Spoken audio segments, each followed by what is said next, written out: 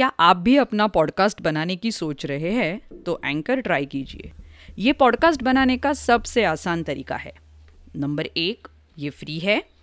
Number दो, इसमें कई सारे ऐसे टूल्स हैं जो आपको अपने फ़ोन और कंप्यूटर पर रिकॉर्ड और एडिट करने की फैसिलिटी देते हैं।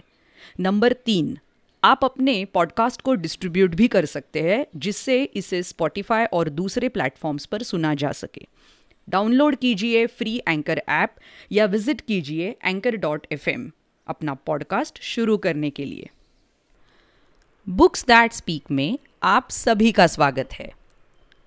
पुचकू का एक नया अभियान। बोल्टू, पुचकू और डोडला, इनका धुरंधर योजना विभाग एक मुहिम पर निकल पड़ा है। नन्ही चिड़िया के लिए एक गाने की खोज में गाने तो बहुत से मिल गए, आप कौन सा चुने? हम्म सुनते हैं कहानी। पुचकू को गाने की तलाश। Original story, Puchku seeks a song by Pratham Books. कहानी लिखी है दीपांजना पाल, चित्रांकन राजीव आइप। हिंदी में अनुवाद नागराज राव। कहानी का वाचन आसावरी दोषी।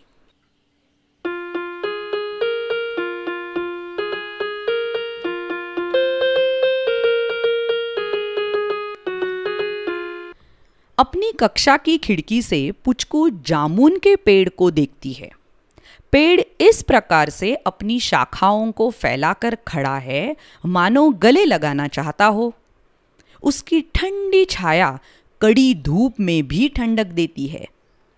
मगर पेड़ जरा नटखट है। वो अपने फलों को गिराता है, जो पुचकू की वर्दी पर बैंगनी धब्बे छोड़ते हैं। पेड़ के पत्तों में छिपे कई पंछी अपनी छिछी गिराते हैं जो पुचकू के सिर पर। पिच! ऐसे करके टपक जाते हैं। हर दिन आधी छुट्टी के समय पुचकू जामुन के पेड़ की ओर दौड़ लगाती है। कई बार तो डोडला तेज़ी से दौड़कर पुचकू से भी पहले वहाँ पहुँच जाता है। बोल्टू हमेशा आखिर में पहुँचता है। उसे कोई तितली कीड़ा या फूल दिख जाता है, जिसे देखकर वो दौड़ना भूल जाता है। आज तो पुचकू डोडला से भी तीन सेकंड पहले जामुन के पेड़ तक पहुँच गई। मगर ये क्या? यहाँ तो कोई और पहले से ही पेड़ के नीचे मौजूद है। मगर ये है कौन? क्या ये टहनियों और पत्तियों का बना कटोरा है? और देखो कटोरे में दो छोटी छोटी आँख और एक छोटी चोंच वाला कोई है। हेलो, पुचकू बोली। क्या ये पक्षी प्राचीन टेरोडेक्टाइल का बच्चा हो सकता है? डोडला ने पुचकू से पूछा। उसे ऐसे बड़े शब्द बोलना अच्छा लगता है। शायद ये ड्रैगन का बच्चा हो, पुचकू ने कहा। अबे बुद्धू, ये चिड़िया का बच्चा है। बुलटू बोला, जो अब जामुन के पेड़ तक पहुँच चुका था। मगर चिड़िया तो अलग अलग तरह की आवाज़ें करती है। कबूतर गुटरगू करते हैं, कौवे काव काव करते हैं, तोते टें टें करते हैं, मोर क्या क्या कर ऐसे करते हैं, चील चौ चौ करते हैं।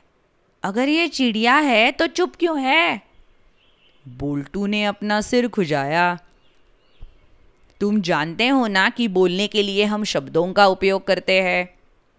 पुचकू और बोल्टू ने सिर हिलाया। इसी तरह पंछी गाने का उपयोग करके एक दूसरे से बातें करते हैं। शायद ये चिड़िया का बच्चा अपने गाने को अभी तक नहीं जान पाया, क्योंकि ये अभी बहुत छोटा है। डोडला कुछ चिंतित लगा। मगर बिना अपने गाने को जाने ये किसी से बात भी नहीं कर पाएगा। एकदम अकेला बढ़ जाएगा। पुचकू ने निश्चय किया कि ये काम धुरंधर योजना विभाग, जिसे बोल्टू, पुचकू और डोडला चलाते हैं, उनको अपने हाथ लेना ही चाहिए। बोल्टू, डोडला, हम इस नन्ही पक्षी के गाने की तलाश करेंगे। बोल्टू थोड़ी सी रुई लाता है। डोडला एक गत्ते की डिब्बे का इंतज़ाम करता है। पुचकू उन जगहों का नक्शा बनाती है जहाँ नन्ही चिड़िया के लिए सही गाना मिल सकता है। सबसे पहले नन्ही चिड़िया और धुरंधर योजना विभाग संगीता आंटी की संगीत कक्षा में जाते हैं। बड़ी सावधानी से पुचकू चिड़िया के बच्चे को बाहर निकालती है। इमरान बांसुरी बजा रहा है।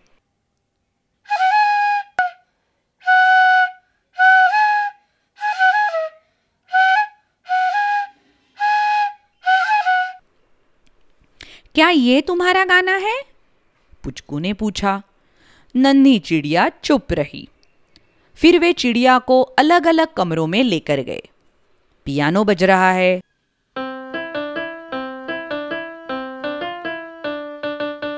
वायलिन बज रहा है।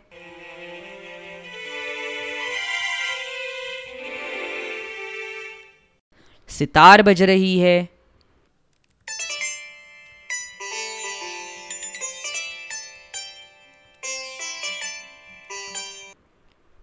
घटम बज रहा है।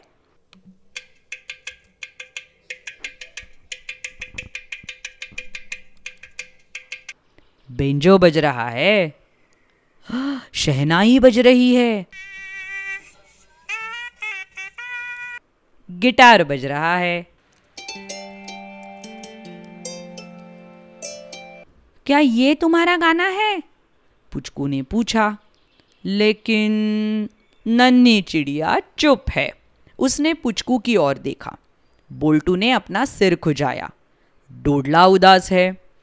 पुचकू ने नन्ही से कहा, चिंता मत करो, हम तुम्हारे गाने का पता लगा कर रहेंगे। ट्वन ट्वन। डोडला ने अपने रबर बैंड गिटार पर एक नई धुन बजाई। Hitch hitch. बोल्टू ने हिचकी ली। क्या ये तुम्हारा गाना है? पुचकू ने पूछा। नन्ही चिड़िया बस चुप थी। क्या ये पुलिस की सीटी हो सकती है? जूतों की चरमर भी हो सकती है? सिलाई मशीन की ठर ठर ठक भी हो सकती है? या रेडियो पर सुनी जाने वाली कई आवाज़ें हो सकती है? नमस्कार। और हमारे साथियों ने लिखकर भेजा है प्यारी only on one of pressure cooker की।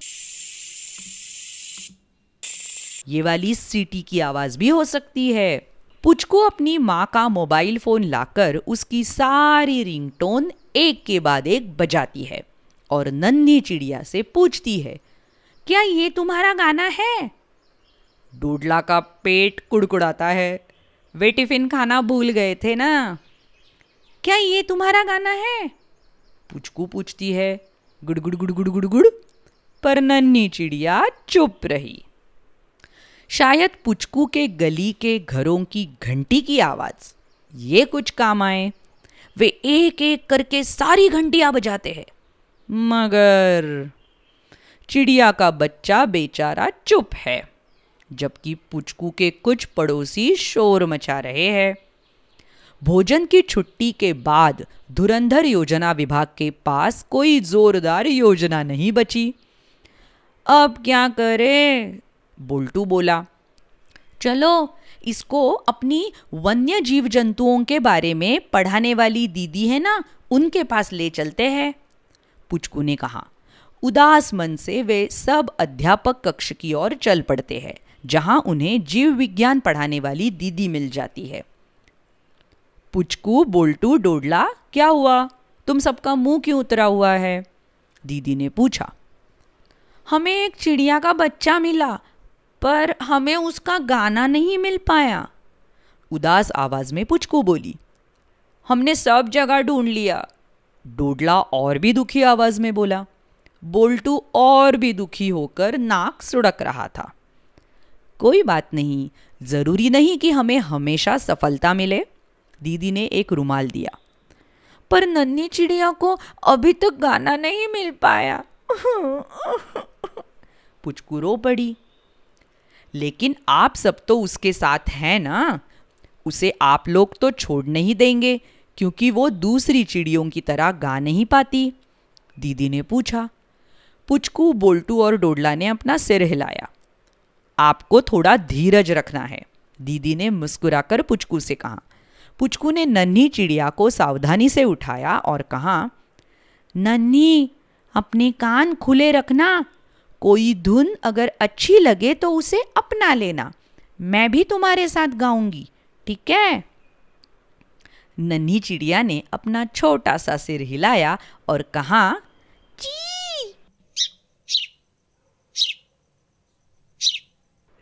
ये सुन के तीनों बच्चे खुशी से उछल पड़े।